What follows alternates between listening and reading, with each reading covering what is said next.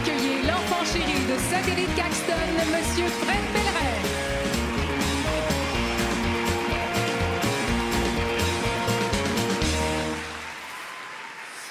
C'était un matin, c'était un matin il n'y a pas longtemps. J'étais en studio euh, pour enregistrer un duo avec Vigneault. C'était Je m'ennuie des mélodies qui mettaient mes yeux dans l'eau. Je m'ennuie de ton ennui.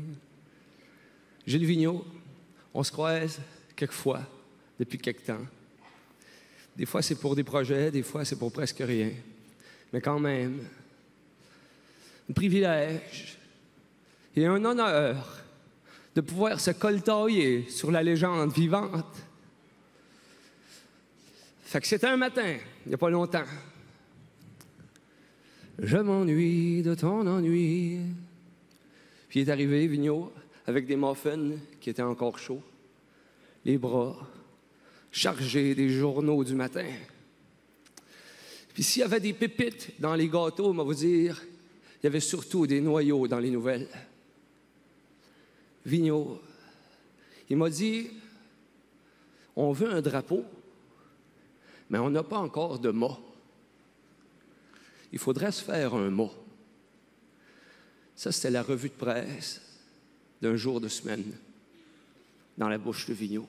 Lui, le grand poète du pays, celui qui chante encore à l'âge respectable, qui trouve encore à donner, puis qui dépasse, comme si ses mélodies avaient de la frange. C'est du surplus qui va brasser jusqu'à l'espoir, jusqu'au projet social, dans l'au-delà de la poésie, pour en faire de la force. Je l'avais entendu dire une fois, il parlait d'idéal. Il avait dit que les poètes trouvaient à dire dans le monde où ils vivaient. Puis que si l'idéal se pointait à la face, il se trouverait un moment, un petit bout, où ce qu'on ne saurait plus quoi chanter. Parce que ça ferait l'impression qu'on a réussi.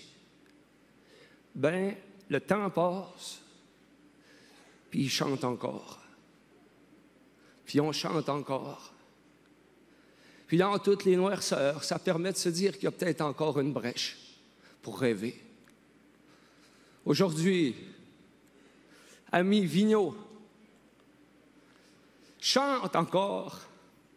Il faut chanter plus que jamais. On a besoin d'un or, d'une aiguille, d'un exemple. On a besoin d'un homme fort. Montre-nous le chemin que tu connais. Dis-nous que ça peut. De changer un bout du monde avec les chansons.